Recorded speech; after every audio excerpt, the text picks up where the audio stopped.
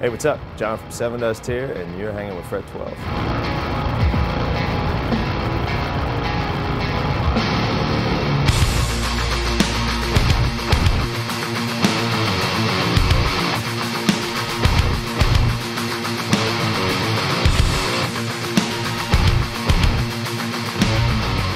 Most of the amps that I've been using lately are the uh, EVH 5153s. Um, I think I've been using those for about five years now, on and off. Um, we got one uh, sent to us when we were making Hope and Sorrow in the studio, and we kind of plugged it in and never really turned it off. It just kind of was one of those things that just, it wasn't the only sound that I was using, but it was definitely one that I, was kind of a go-to. And um, each year that goes by, I find more and more uses for it. It's a, it's a super, super, super one-trick pony. Um, clean channel is pretty good on it, which is, if there's any weak spot on the amp, I'd say it's probably the clean channel, which is pretty strange being that it's a Fender. Um, it, it's not bad. It's just the, the blue channel and the red channel are just, they're unreal. Blue channel is, uh, it's, it's just such a cool channel, and the red channel is basically the same thing, just with all the, you know, the hair and the fuzz on it. Um, it's definitely one of the most high gain amps I've ever played. Um, vulgar display of power for sure with that thing, but uh, it's just a really, really cool. Um, it's a it's a modded Marshall. It's an old modded Marshall. It's it's like that Van Halen tone back in the day. I mean, I, I kind of cut my teeth playing Marshalls and gravitating towards that kind of a sound. So for me, it's uh, it's just a natural thing. You know, when you play it, it just kind of feels like that. Um, so yeah, I mean, I, I love them. It's hard to really explain other than the fact that it's almost like everything is EQ'd this way. Um, everything has more definition. Um, it, it's it's really tough to put your finger on it, but it's just that there's a, there's more clarity with what's going on. There's um, there's so much gain on tap, and I mean you can get it to the point where you've got it just gained up where you can't even control the thing, but you can still hear the individual strings in there for some reason or another. It's got a lot of detail, so um, it's very Soldano in a lot of ways. I mean it reminds me of the SLO um, a lot. Um, it, it's very very related to that. Um, I, I think the Randalls are a little darker. I think the EVH tends to suit what we do tuning wise a little bit better because when you tune down super super low you know i mean i guess most people say okay get get a super super heavy amp and get a guitar that's got a lot of low end a lot of bass and then tune down to a and everything sounds like mush you know so for us it's almost like digging clarity back out of being tuned down so low is a it's a constant struggle you know it's always a bit of a challenge so when you get an amp that has that there and you don't really have to go diving at the eq for it um, the cool thing about that amp too is the fact that uh, you can put the EQ pretty much wherever you want. You know, it's all just slightly different versions of the same thing. You know, the EQ, if you don't like the tone, don't dive at the EQ, turn the amp off, go play something else. it's kind of one of those deals. It's like the EQ is only really going to modify kind of what's there. You're not going to get any drastic changes from it. They all work, but um, you know, it's a trick you either get or you don't get. Live signal chain is uh, it's simplified over the years. I still run a GCX. Um, we got that going just to kind of isolate things, but most of it is pretty much um, it's pretty much guitar, cable. I had a Boss tuner on the front end of the rig. Uh, we go into a wah, and then we go to the uh, go to the amp, and everything else lives in um, you know lives in the in the GCX and independent loops. I got a phaser and we have a delay pedal set up in there. Um, I have a compressor. I think I have a boost pedal in there that I don't even know what button it's on now. We don't have that label. We, we had two different GCX pedals and now I'm back on my main and we kind of redid some stuff. So, um, but it, it's simplified, you know, I mean, I got to the point where when it, it'd be weird, you know, I mean, you go in to do a solo on a record or play a part on a record and, you know, the engineer would be like, so do you want to hook a pedal up or anything? You know, I just show up, guitar, cable, boom. Um, so yeah, I mean, as as close to that as I can get, I think the better off. Um, it's just less stuff to keep up with, you know. The nice thing about the GCX though is if something goes weird in there, it's usually out of the signal path. Like I don't notice it. Um, if something were to, you know, get weird with pedals out on the floor, you know, you dive down and you're doing the whole, hey, I'm cool. I'm not really supposed to be down here doing this, but hey, I got to fix it. But, uh, but yeah, I mean, the, the, the, GCX is probably the most advanced thing that I have. Um, I do have a Drawmer uh, gate that is a killer gate, and um, I just run it in the loops on both the amps. I have one per side, and it just kind of cleans up any ex, you know, extra stuff. We have a gate on the front of the amp that controls the guitar, and then we have a gate in the loop that basically kills any kind of wall noise, anything like that. So. Same rack, but we've only got the two heads because we've actually got to the point we were using two heads for the longest time, and um, one sounds better. I don't know why, but it does. Yeah, for some reason or other, we just. I think we went down to a half stack for one show, and um, we just started running half stacks. We did music as a weapon. We're out there with Korn Disturbed, and you know we had the scrim set up, and we just had the single 412 and one head, and everyone would be tripping out over the guitar tone and be like, "That's it, man. It's a half stack." You know, Mike was like, "No, it's not." I'm like, "No, I'm telling you, it's just a half stack." You know, so it's kind of nice um, being able to dial it in that quick. You know, it's always I always kind of go for the oh well you know you want the stereo sound and all that stuff, but there's something really cool about just plugging straight into an amp and a cabinet and having it just come together. You know, so that's kind of it's kind of our mantra lately, I guess. You know, simple, real stupid.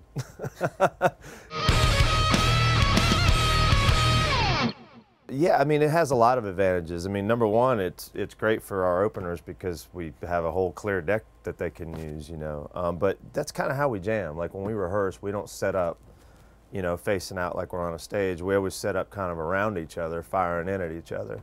Um, so it kind of plays off that, you know. I mean, it definitely helps uh, the front of house engineer a lot. You know, you don't have that guitar, you know, just ripping your face off. Because a lot of the clubs that you're playing in, you know, it's not that far from where the amp sits to the back wall or front of house or the parking lot outside, you know. So anything that we can do to kind of, you know, have it to where it's not coming off the front of the stage. Another advantage is LJ can hear a little bit better this way. You know, everything's not coming from all the same spot. You know, behind him, he's kind of surrounded by it. You know, and he can pick and choose what he wants in his wedges because he's not on ears. He's the only one who's you know still using wedges. So, uh, I mean, it, we love it, you know. And we we did it, and then we were like, ah, oh, you know, we need to go back old school, do it normal. And we did it old school, and we were like, man, we just didn't like it as much, you know. Um, the backline has a cool look, I guess. You know, we talked about throwing a bunch of cabinets up there and doing that, but I think between Black Label and Slayer, they kind of got it covered. So we'll just go with the clean deck for the time being. Not a whole lot. I mean, we had a, we had a couple different um, setups. We had the little drum room setup where we had a smaller version of Morgan's main kit, and that was kind of our getting our shit together kind of writing room. We'd go in there and we'd bang stuff out. But the amps were always on just dollies that kind of rolled around with us. They followed us around. If we were in the main room tracking, we'd roll it out, dollies in, plug them into the cab. Um, if we were out in that room, we'd plug into different cabinets, and you know we just had a different monitor. Everyone was on ears, you know, headphones or ears, depending on what you wanted. Um, and then we do the same thing with the regular tracking of the big drums. So big drum set, little drum set, and then the tracking room. So these little dollies with the amps would just kind of float around wherever we were at. Um, and it, it, was pretty much just our, you know, I think we used the Diezel, we used the EVH. We used a Marshall for a few things, a couple PVs for a few things, but the lion's share of the work was all, you know, Diezel and EVH, and uh, that was it. You know, pretty simple. Small guitar, but you know, people come in and be like, "Where's all the gear?" like, you know, we kind of only bring the stuff that we know that we're going to use and that, that we know that we're going to need. You know, I mean, we've we've done records where we go through the, you know, the Johnny K record is a great example. You know, we played, I probably played hundred thousand amps that day. You know, but at the end of the day, I ended up playing my EVH and yeah. kind of the go-tos, the ones that you kind of know. So, you know, this time around, we just said, you know what, we kind of know what works. You know, unless there was something that was just absolutely killing us to try.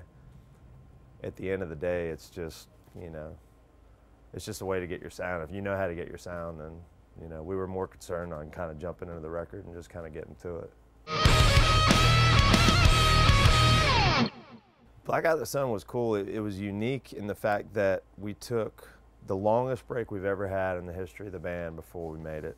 Um, we had two side projects released um, before we, you know, made this record, um, which a lot of people were, you know, speculating. This is it. That's it. It's the death rattle. Sevendust is over.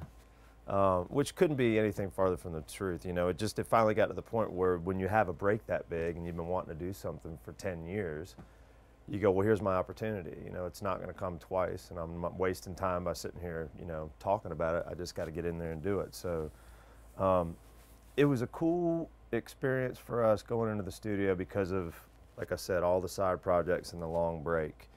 But what was really unique is we said, let's not bring anything in. Like, don't show up with demos because we're not going to listen to them. You know, write all you want, but that's not what we're going to focus on. You know, our whole thing was let's let's do what everybody says you can't do. Write a record in the studio together. You know, all together around a little writing station, and then we would just hammer it out. And that's pretty much how we did it. You know, we didn't show up with anything. You know, on a Monday, we'd be tracking, and we'd have no idea what we were going to be working on on Tuesday because we hadn't got there yet. You know, and it was really cool. It was like, um, you know, I think after taking a break that long, we realized we it was we missed it. You know, I mean, we we almost had to take it away from ourselves to get to the point where we realized, yeah, okay, our heads are, you know, because sometimes you you lose focus and you're not sure if you're doing it for the right reasons or anything. And when you take something that is your life, you know, away for a minute, you really appreciate when it's not there, you know. So when we hit the studio, we were just, we were ready to go. And if one guy wasn't into it that day, well, the other four damn sure were. So you figure the odds of out of five people having at least three or four that are really, really, really hyper creative that day, it's an easy way to make a record, you know. I mean, everybody in this band contributes and writes, so there's never a shortage of ideas or, you know, stuff that's just going to get thrown out there and all of a sudden you realize, wait a minute, I never would have thought we'd be here, you know, 30 minutes ago. So it was cool, you know. I mean, every day it was like, what are we going to do today? Crack a beat, you know. Let's do something really heavy. And then we'd write the lightest song on the record. you know, it always worked that way. It was like, yeah, we want to do something like Super Omega over the top and, you know, Dark AM comes out. And we were like, how did that happen? You know, but it was just a cool record in, in the fact that, that we were we were prepared to work, but we were as unprepared as we've ever been to start because – you know, we just didn't bring in a lot of those ideas that we normally would. You know, normally there'll be a whole stack of ideas from Clint, and a whole stack of ideas from me, and we start picking through one pile to the other pile to the other pile, and you start putting it together. And Vinny will have a different idea for middle eight, and LJ will have a you know an idea for the chorus, and you know you mold it into something. And that's it's you know it's always worked for us, but some of the coolest moments are when we don't have anything ready at all, and we just start being Sevendust, you know. I mean, we, it's funny because we do a headline show and I think we're playing 12 or 13 songs, but we're still playing all this extra music because we do these intros and outros and like just weird things, and that's just part of like what happens in the room with Sevendust. So, you know, for us it was a it was a breath of fresh air just because it was like it kind of took us all the way back to the beginning. It was like I remember a time we didn't have a whole pile of songs ready to go you know, and that's kind of what it did. It, it, took us back there. So a lot of people say it reminds them of, of some of the earlier records, you know, the first and the second record, but I guess we were in that mindset because we're just reacting to each other. You know, Morgan will play a drum beat and all of a sudden a song will just fall out of nowhere. You know, and he was like, all I did was crack a beat. I'm like, yep, that's all you got to do. Sometimes it's all it takes. 28 days you know, in and out. 28 actual days. We were there for, I think, 31, 32 days.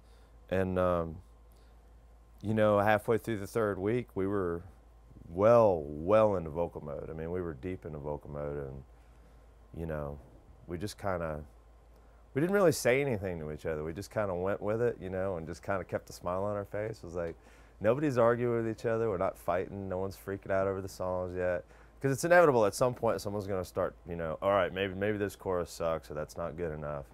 Because we're overthinkers. We all overthink everything. And um, the beauty of this record is we didn't give our you know we, we, had no time to do that. There was no extra time to sit around and go you know do i hate it? Do i like it? In five years am i going to hate it or like it? You know? So there was no second guessing you know? A lot of records we've made we've had too much time. You know, too much time is almost as, you know, worse than not having enough time because you just, you sit there and you overthink everything, you know, and you'll analyze it. And with this band where there's so many very strong, you know, minded songwriters, I mean, we try to do a cover song. I mean, we can't even get in the same, you know, genre of music, much less, you know, agree on something. It was like, y'all can't just agree on a cover song? I'm like, no. we tried. It was probably the closest thing we ever came to actually having a fight in the studio was over the cover song. Nothing of, you know, any significance whatsoever. But yeah, it, it was just a fast experience, you know. It's just, it was, uh, you know, we didn't do it to say, okay, we're only going to do it in a month. We just said, let's just go in and see what happens. You know, if we get five or six songs at the end of that time and we have to go back in the studio, cool. You know, we'd done it before. I mean, Animosity took us probably a year, maybe 14 months to make in nine different studios. You know, we had labels telling us, well, you need to finish this song, and you know, this demo song needs to be worked on, and you know, you got a lot of cooks in the kitchen, a lot of people placing their orders, and Animosity is a great record. We love making that record, but we made this one with a lot less stress, a lot quicker, so, you know, I think we'll probably end up trying this kind of a, a process again until it doesn't work. You know, we're kind of one of those bands. We'll, if we find something that works, we'll do it until it either doesn't work or we don't like doing it anymore. So, I could definitely see us hitting the studio like this again. You know, maybe spending a little bit longer and maybe doing it in. Uh, it, it, the one cool thing about going to Butler, New Jersey, was we'd never been there before. Um, and it's not to knock them by any means because I'd love to go back, but there is something cool about going to a place you've never been to. You know, it kind of just, especially if it's a good vibe. You know, like Butler was a great vibe. It was really easy to work. I mean, a lot of days we were getting out of there. We'd, it'd be 8:30, 9 o'clock. We'd be like, shit, man, let's wrap it up. You know, we get eight or nine hours worth of work in and be like, you know what? We knew we had a good solid day in, so let's not push it. You know, especially once we got into vocal mode, you know, because there's only so many constructive hours you're going to really be able to get out of your singer. You know, I could sit there and play guitar for eight hours, but nobody wants to sing for eight hours. You know what I mean? So you got to pick and choose, get into a rhythm. But uh, but yeah, I mean, you know, this band is just the best at at being able to bring the best out of you. You know, you may be dragging ass and just not be your day, and Clint will play one riff and LJ will sing one thing, and all of a sudden the light bulb is this big, you know. So we all kind of feed off each other. So I could definitely see us doing it again. Yeah, I mean, uh, Call Me No One and Projected were the two projects that we did in um, in the off time. Uh, Clint had done an HDMS thing, which was more of an acoustic-based thing. He did it as uh, I mean, he actually did one EP where he played everything. So um, he wanted to do something a little bit different, and we were kind of talking about what we were going to do in you know in the break because it was a it was a pretty long break. Um, and it you know they'd been talking about doing the call me no one thing, and I'd been talking about doing something at some point in time. I didn't know what it was. I didn't know who was going to be involved in it. I didn't know if it was going to be you know Omega heavy or if it was going to go a little lighter, a little more commercial, and uh, you know, I started digging through a bunch of music kind of towards the beginning of the end of Cold Day Memory, like when we knew the album cycle was winding down. Um, kind of started digging through some stuff, and the whole idea with Projected kind of started to form. And it had been something that I'd talked with, you know, Scott Phillips for years and years about doing. Um, we were eventually going to do something. We didn't know what it was or when it was going to happen, but somewhere in between Alter Bridge and Creed and Sevendust and, you know, whatnot, we'd be able to find the time to do it. And the planets lined up for once, you know, because like one week later he was heading out to do the Creed stuff, you know. So we had a very very small window, small you know window of opportunity, and it was uh, it, it was cool. It was it was just something that we just agreed to do. We didn't spend a lot of time overthinking it. We didn't rehearse at all. I mean, the only rehearsal we did was to sit down that day. I mean Flip did his homework because he listened to the demos and he had a lot of ideas on how he wanted to approach, you know. When I present a demo to a drummer, it's don't da don't da don't da. I mean, it's about as basic and simple as, as it can get, you know. So he he put his thing on it, but he's got a music stand and he's got sheets written out and everything. And I was like, whoa, wait a second, you know, he's schooling me there for a minute. But uh, but it was cool. I mean, we went in there. I mean, we got it all knocked out. You know, most of the loud stuff in less than a week, and we shut up shop and moved over to my house and you know made the record. Probably took about a month, month and a half to finish it over there, um, over in my home office, and then we took it back up to uh, what used to be Painted Black and now is Studio Barbarossa. Um, Elvis Baskette helped us out, mixed it up, and uh, yeah, I mean it, it was it was an experiment that went well. You know, sometimes those things don't go so well, and this one went really well. So we were pretty happy about it. You know got a lot of new music for another record too. So that's uh, on the plate, kind of sitting there, kind of sorting through, trying to figure out is it too heavy, is it too metal?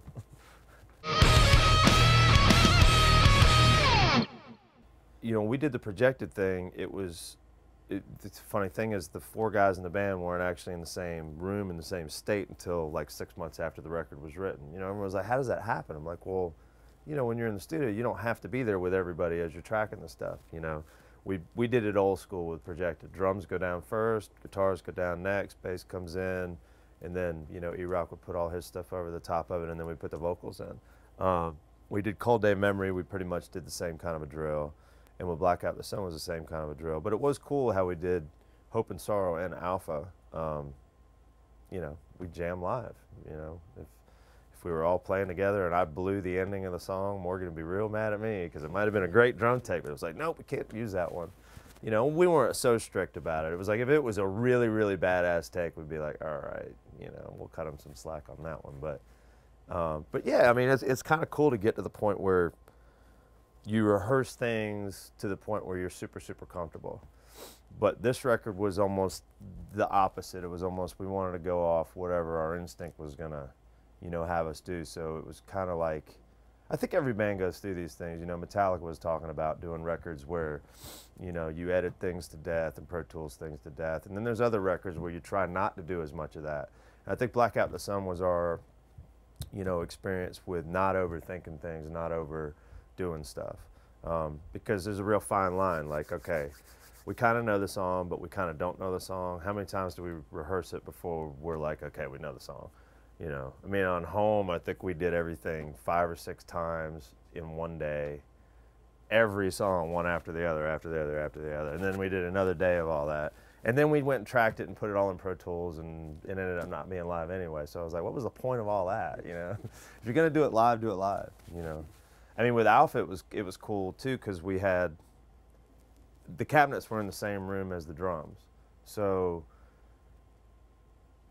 if somebody blew it, you heard it because it was going to be in the overheads, or you know, it, you couldn't get rid of it. So that that that was part of the deal with that. You know, I mean, you could play smoke and mirrors and cover some stuff up, but some of the stuff wasn't so easy to be covered up. But but this record was just a little different because we weren't. I mean, honestly, some of these songs we're still like, all right, how am I going to piece all this together? You know, some of the more misleading songs too, like "Got a Feeling" is just a technical nightmare because there's two guitar parts and a vocal part that happen on the last chorus, and I haven't figured out how to marry all three of those together. You know what I mean? So, but it's it's it's cool both ways. You know, I, I like doing it where you get in there and, and we do it live and we know it, but I also kind of like the mystery.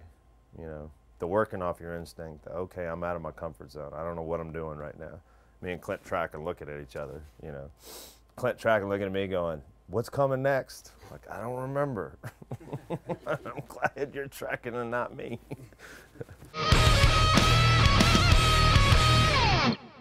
it's similar. it's a lot the same um, in certain aspects. I mean, there's certain aspects of what we do with Sevendust where you know, depending on who's covering what vocal part, whether he's ad libbing or not, a lot of what either Clint or myself will be doing will actually be a lead part for a moment. So sometimes you almost have to approach it like, okay, you're the lead singer, act like a lead singer for the moment. Everyone's going to duck in behind. LJ's going to do his thing, and then you kind of come back in just to the normal drill.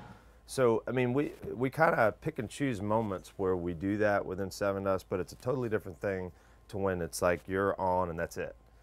You know, I mean, the one really strange thing about the you know the projected show that we did was E-Rock had time to get the guitar stuff down, but he didn't really have time to get a lot of the vocal stuff down. So I was like, okay, this is going to be extra new, extra weird, but extra exposed too at the same time, you know. But it, it's just a different animal. I mean, it, it's it's a totally different. Um, I have all the respect in the world for singers, you know, because I could break a string, grab another guitar. Amp blows up, cool. I got two or three more of those. Cable breaks, no problem. You know, you lose your voice. You know, what are you gonna do?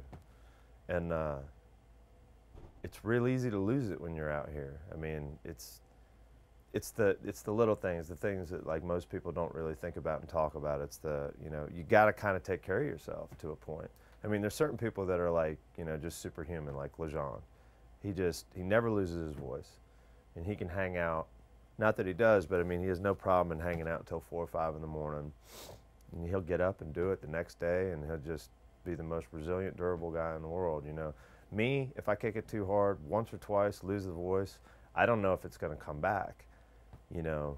So there's the i mean i have the utmost respect for for that you know the fact that i can't just do what i want to do you know? I have to actually think about it. You know talking with Myles he was like yeah it was like this this part sucks. It's like you got to get sleep you got to drink water you know you're doing what five six in a row?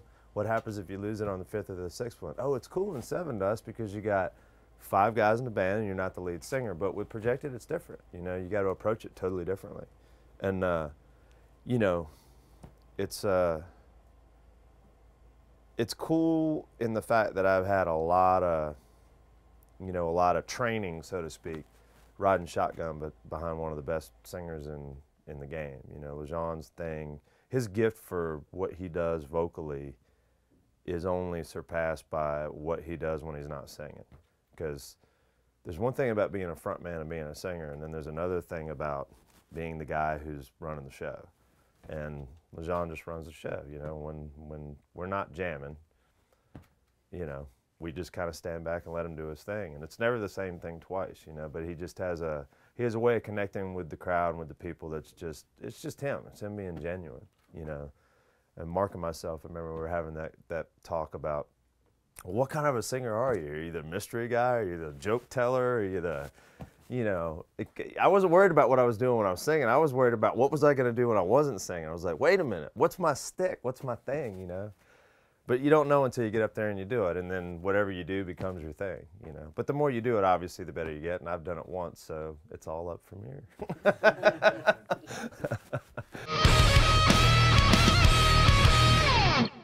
Usually, uh, yeah. Normally we we run with about five. Um, I think on this tour we have six. I have a newer tech out with me, and he's also um, doing monitors. So six just makes a little bit more sense because we have three main tunings, and this way you can have a dedicated backup for everybody. Even though I'll be over there grabbing the wrong guitar, you know, something not even related. No, no, no, no, no. I've already got you set up. You know. So normally we we do six. We'll do uh, two A sharps that are dedicated A sharps, two Bs um, one that'll float up and down to one of our A sharps that's really, really uh, related, and then two C sharps, because I think we got uh, basically three tunings for this tour right now. Picks and strings. Uh, picks are in tune jazz threes, sort of. They're a little bit bigger than a jazz three. And uh, strings are the Ernie Ball Beefy Slinkies, I believe. 11 to 54. I'm coming down to my string gauge. As I get older, we're getting I'm going. I'm going Billy Gibbons. I'll be. I'll be playing eights within the next two or three years. They were close. Um, I live in Orlando. They were in Tampa. Um, there was a handful of companies. You know, when I was thinking about making the switch, um, you know, obviously I looked at everybody that made that shape, that body design, that style, um, and they were they were the ones. I mean, obviously there was the whole Dimebag connection as well. I mean, he'd been with them, and I'd kind of been friends with a couple of the guys with Dean before I actually even, you know, started really entertaining the whole thought of going over there. But, but with Dean, they, uh, you know, the cool thing about it not being Fender or Gibson is they don't have the licensing issues with scale lengths and stuff like that. So I could make an Explorer that had a Fender scale neck, which was my dream guitar. You know, I've always gravitated towards Gibson body styles, and I love the way the Explorer hangs and feels when you stand up and play it. But the next scale was always a compromise because the first couple guitars I had were 25 and a half inch. So going to a shorter scale neck always felt like I was kind of bunched up. You know, it was the one sacrifice I had to make. And I was like, if I could get an Explorer that had you know, a D-shaped neck, long scale neck, it would be perfect. And uh, that's pretty much what we've done. You know, I played a, I played a couple of the stop models for a while to kind of get my head wrapped around, um, you know, just what they can do guitar-wise. And um, you know, between the the shape I was going for and being able to really kind of just dive into to making it exactly the, the way that I've always wanted one. You know, it's kind of a no frills guitar. I mean, it's it's it's super basic in a lot of ways, um, but it's just it's comfortable. It's the combination of the body that I've always loved and the neck that I've always loved. So both hands are real happy. I've got yeah. i am actually using one of the short scale guitars, um, one of the Gibson scale necks on the highest tuning on the C sharp tuning because that one's a little more. Um, it's a little stiffer, but it's a little higher too. Um, the cool thing about that, you know, it's weird. It's like you know, people ask me all the time, like, "Why don't you play baritones?" I'm like, "Cause I don't feel like playing something that's that long." You know, I mean, it's a lot longer. You know what I mean? It's like I don't play bass because bass is uncomfortable, and baritones are kind of uncomfortable. They're just not, you know, they're, they're not super conducive to. Okay, you know, I, I feel good about this. I'm, I have not played baritone enough, but going one direction towards a baritone with the scale length is just enough. Um, when you're down in A sharp and B, it just fights back enough. You know what I mean? Like everything is just a little bit better because of the added scale length. I'm, you know, I'm sure it's obviously because it's longer. Um, but it's just enough, you know. Um, I could probably sit down with a baritone and get my head wrapped around it. I mean, when we're in the studio, we'll sit there and you play it for three or four hours, and it starts to sort of come natural. But soloing on a baritone sucks. it's just not easy, man.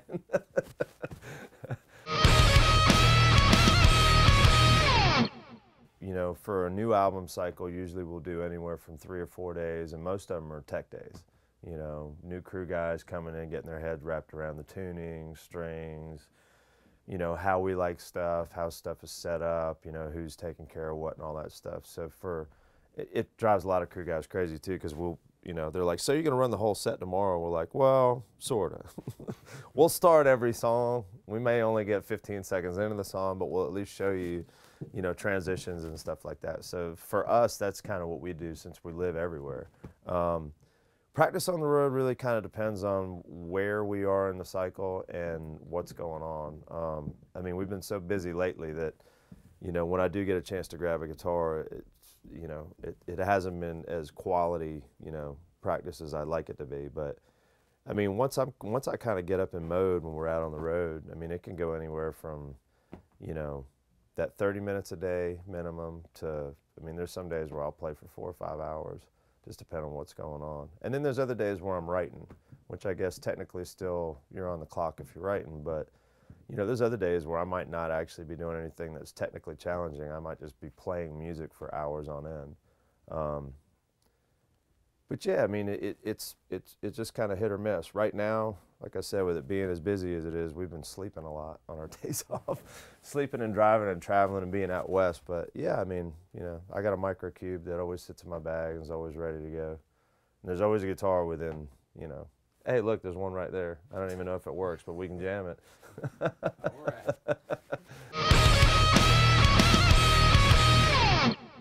uh, Gojira, been listening to a lot. Um, let me think. Tesseract. I've been listening to um, a good bit of that. I've been listening to Civil Wars a lot lately. Uh, Lajon has been listening to anything that will absolutely drive us crazy. Um, what's that new thing? He, he's into whatever's like really popular. So you know, he's like the world's best A and R guy. If he hears it and loves it, it's going to be a hit. We're kind of in that mode where we've been listening to a lot of demos like stuff that we get out on the road. So, and a lot of it's really not that good. So, I'm not real sure what we're listening to, but we're listening to a lot of stuff. we were, I mean, we talked about a million different things, but the, you know, it, we came close. We thought we were going to be able to do Alice in Chains, that we'd do Alice in Chains Wood. And uh, LJ just wasn't down with it, man. He, he was, he was he seemed like he was fine one day and then the next day he was just not into it you know but that's the thing is like you know he's the one who's got to get in there and sing and he was like it's not easy shit to sing man he was like fucking you know, Layne's kind of not his normal vibe, you know. So I don't know. Somewhere between us all being metalheads and being into, you know, all those kind of bands, and LJ being more of an R&B country guy, you know, there's there's a lot of latitude over what we could cover. You know, I mean, there's a lot of songs that we could possibly do, but trying to get five people to agree on one is not easy. not easy at all. A marine biologist or a professional race car driver? I don't know, man. It's tough to beat In-N-Out Burger. Every time we go to California, we get In-N-Outs. We don't get In-N-Out back east, so that's probably one of the more memorable ones lately. Um, yeah, probably in and out. Uh, I mean, as ridiculous as that may sound, you know, we're stuck with Steak and Shake and Five Guys back east, so we see in and outs, and we don't care. A line could be around the block.